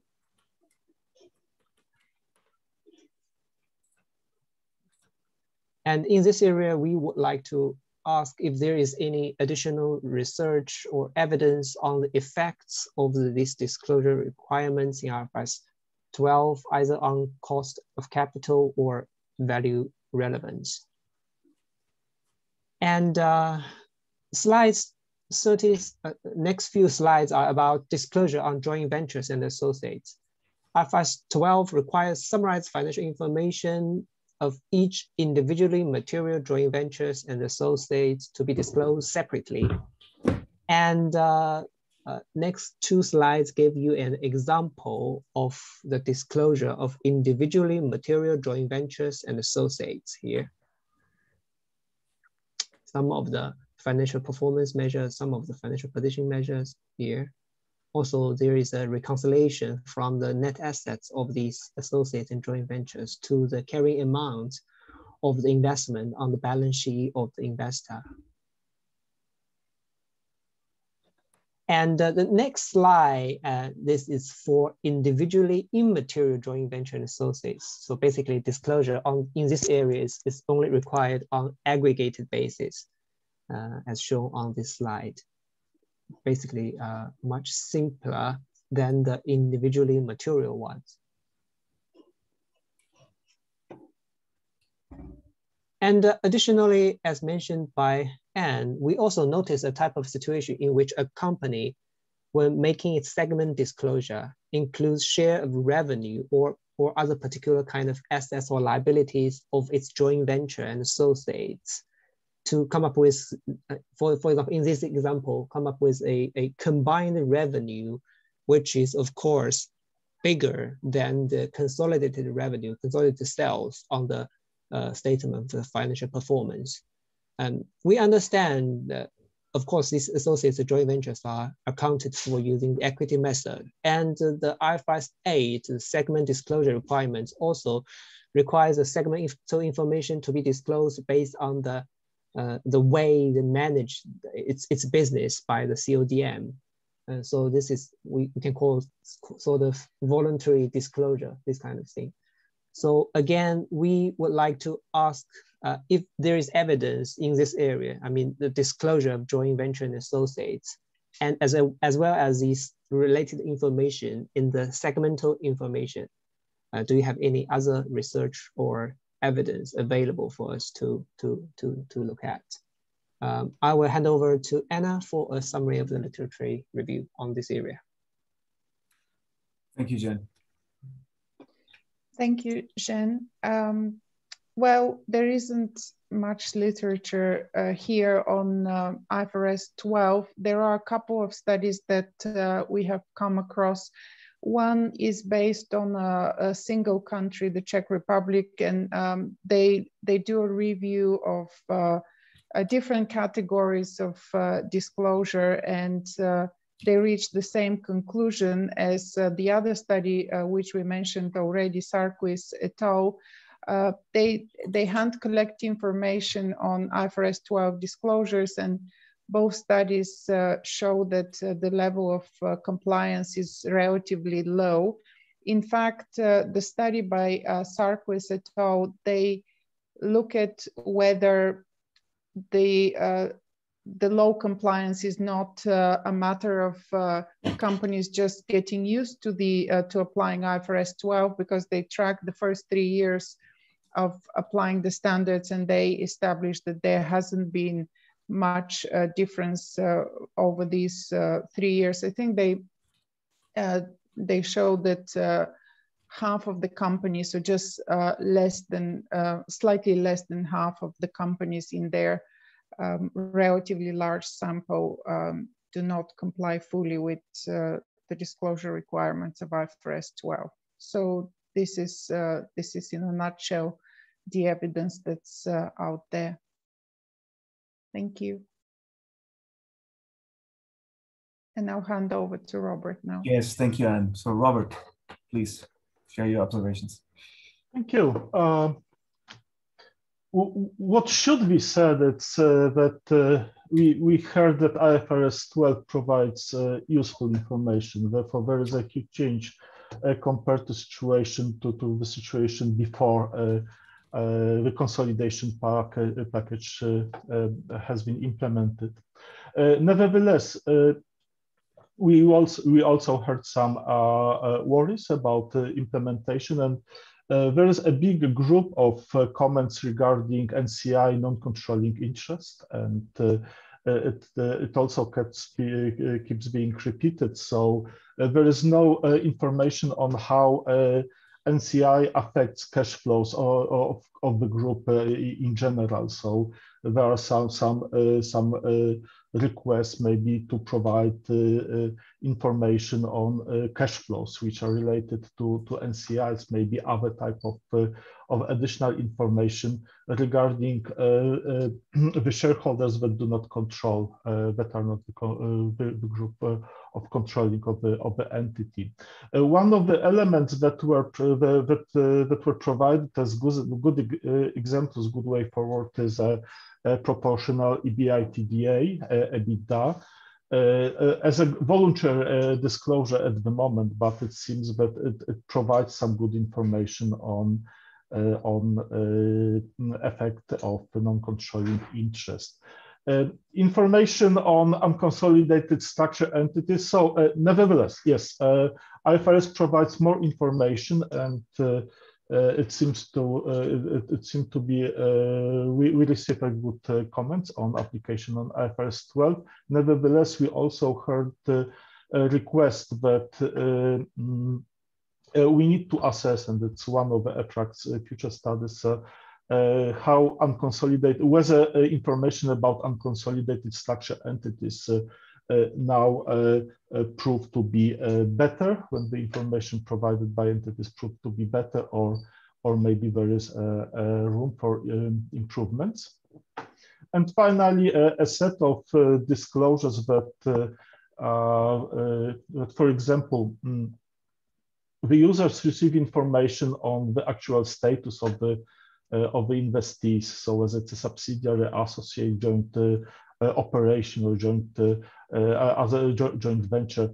however, there is lack of information on what actually and what is the weight of actual judgments used to assess mm, that that status of investees. Of course, uh, you, uh, users also requested uh, more information on economic compulsion were, were, needed and the risks and cash flows were requested to be the information about risks and cash flows uh, were uh, requested on a more granular level than uh, it's currently available. And finally, there is a slide 45 where we still uh, receive comments that it's not just the consolidated uh, consolidation package that is interesting, but also uh, Mm, how uh, other standards interact with consolidation package. So for example, recently we've heard about uh, uh, discussion of the IFRS interpretations committee regarding leases. So uh, the interaction of IFRS 16 and IFRS 11, we still hear some comments that uh, the result sometimes uh, may be not useful of, of, of application um, of, of that guidance. Uh, moreover, uh, presenting information by the operators of oil fields uh, uh under IFRS 16 uh, interact, uh, in interaction with IFRS 11 could be less interesting to users, less informative.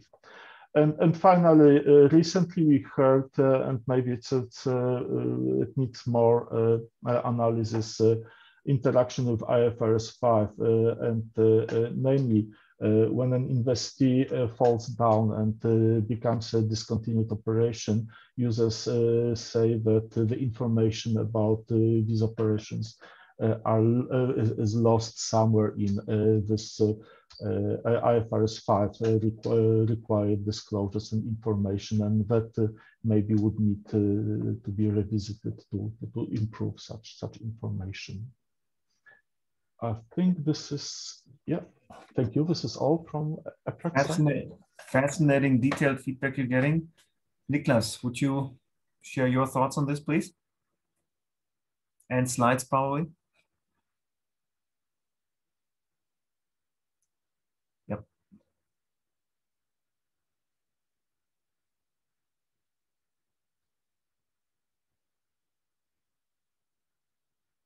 Don't forget the mic. Yes, that was my problem. Now I have solved that problem. Sorry.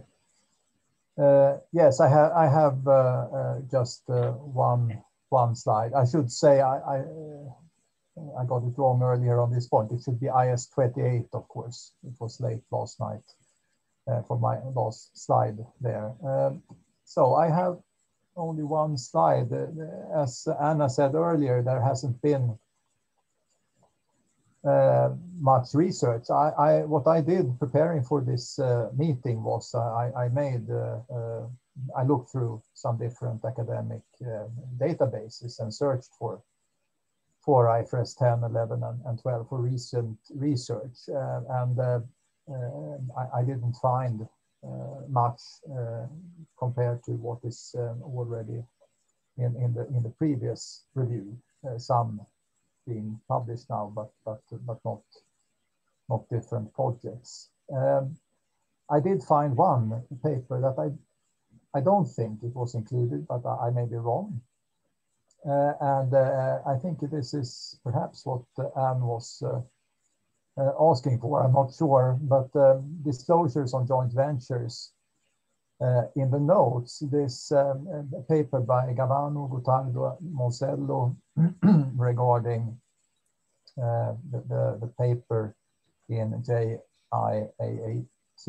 from 2020 did the switch to IFRS 4 11 for joint ventures affect the value relevance on consolidated financial statements, evidence from France and, and Italy. And in, in that paper, they refer to um, looking into to the notes.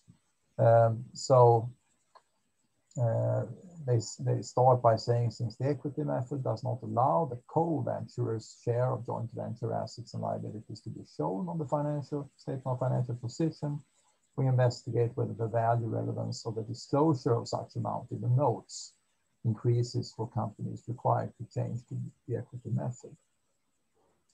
And we expect the switch to the equity method to increase the value relevance of the disclosure of co-venturers' share of joint venture assets and liability.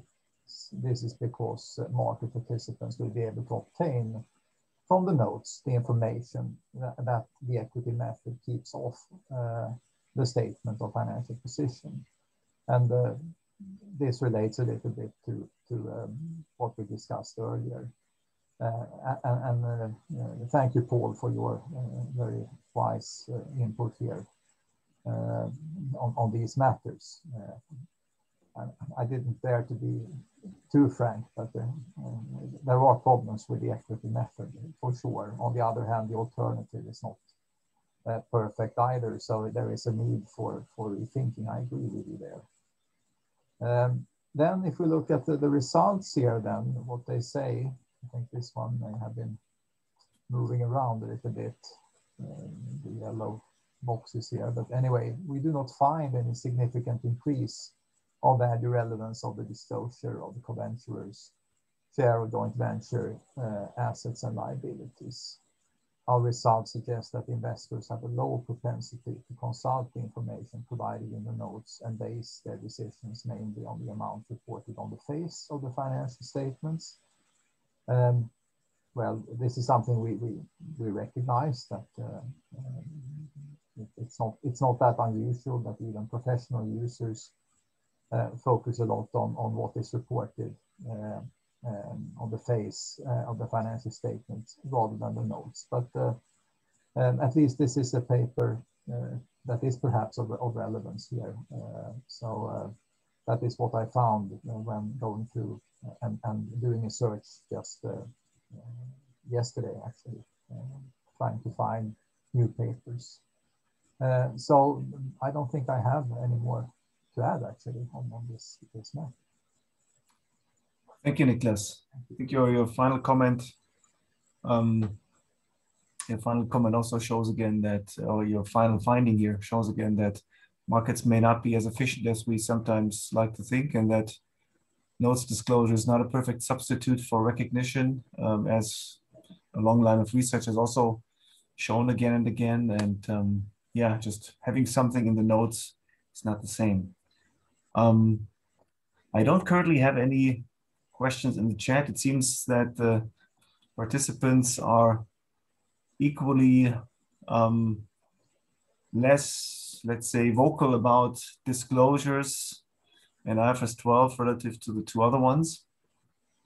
Maybe if this doesn't change, I can uh, conclude with, with a question potentially also related to the upcoming workshops. Um, uh, directed at the IASB, perhaps um, the, the kinds of the kinds of research insights that you find most useful, and to what extent would you also be interested in not only not only research studies that uh, look directly at the effects of a certain standard or at the um, you know at IFRS jurisdictions or time periods that speak directly to a project, to what extent would you be interested in findings that might allow conclusions, maybe indirect conclusions being drawn on matters of interest? So, so how broad should we cast our net when we review and bring to the table um, research findings, even if, for example, they don't have IFRS X in the title?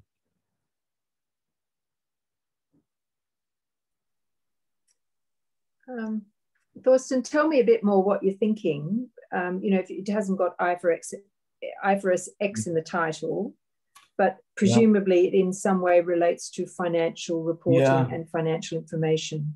I guess I guess what I mean is is um, the extent to which you think that studies conducted, for example, in a U.S.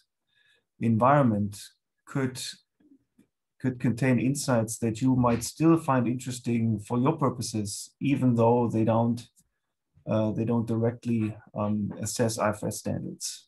So what? Um, well, there can there can be a lot of information from US data, from research on on US data, where the US standards are doing something similar to what IFRS standards are doing. So in the area of financial instruments. So we've started our post-implementation review of IFRS 9, classification and measurement. Um, we're really looking for data around um, uh, the fair value OCI option, uh, mm. fair value P&L. Um, there's a lot of uh, talk around around that, that, that under IFRS 9, um, invest, investment in equities uh, in only certain circumstances goes to fair value OCI and there is no recycling. Um, so comparing that to US situation where they don't have that, um, that that's a very interesting area for us. A second one that I could think of is where people, are, you know, the US are talking about um, a different approach to goodwill and wanting to do um, something different with goodwill. So their private companies are doing um, goodwill amortization. So there could be insights from something like that. Thank you. Um, there's also probably insights from environmental things that that actually speak to financial reporting. So if there if there are things, there are all sorts of things going on that don't have IFRS XX in the title, but can still be can still be relevant. So we're often thinking about the costs of things, and sometimes costs uh, relates to system changes. And so when big standards come, they cause system changes. Hmm.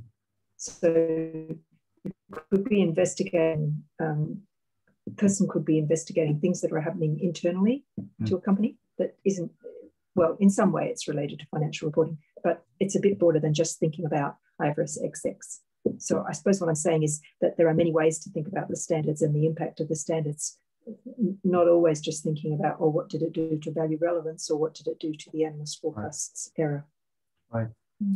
exactly i think we should be a bit bit broader and and look around a little bit more to to bring in what might also be indirectly related or, or broader changes that that might be happening. Um, I think, um, uh, by the way, that, yeah, just just uh, just maybe reacting to what you said about systems changes.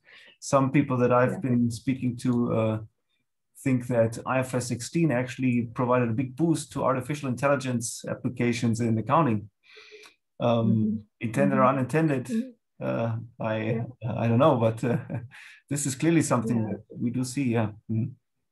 Yeah. Um, just today, we've released our proposals about disclosure, and this is we're describing as a pilot approach. So the targeted standards level review of disclosure project approach it released today. And this is a, a, big project in the sense that it's talking about changing the way we approach disclosure requirements and using more objectives. It's not a new conversation. We had this conversation in a research forum several years ago. You were there, Niklas Hellman was there. Many of our audience today were, was present at that research forum where we were talking about this several years ago. So we've re released the proposals. Now, this is the kind of work that uh, research can be very relevant because it's actually looking at behaviors and looking at incentives. So it's not specifically, although the pilot materials talk about two specific studies, a person could be researching around behavior, around incentives, around governance, around audit, all sorts of areas that could still be relevant to this project and relevant to us developing our ideas. Is this viable or not to take a new approach to disclosure? Mm-hmm. These are great closing remarks. So I'm not even going to try to add on to that. I'm just gonna look one more time to the chat. Nothing new there. I want to thank all of you again for making this session possible. All of the presenters, all of the participants and the discussants. Thanks for joining and again, consult this new summary page we have to register and sign up for the next workshops. Uh, there are a few interesting ones coming up. Crypto assets, I think is one of my favorites. And then, of course, uh, we're trying to mirror and accommodate, accompany um, all the interesting projects that the IASB has lined up and EFRAG is working on. And we'll uh, keep meeting here and discussing these. All right, and now have a good weekend. Oh, I actually see uh, our academic our academic speaker for the next crypto assets workshop, Benedict, you're also here today, getting testing the waters here a bit, right? And uh, see what the format's like. Good. Looking forward to seeing you next time. All the best and have a good weekend now. Bye. Thank you. Thank you.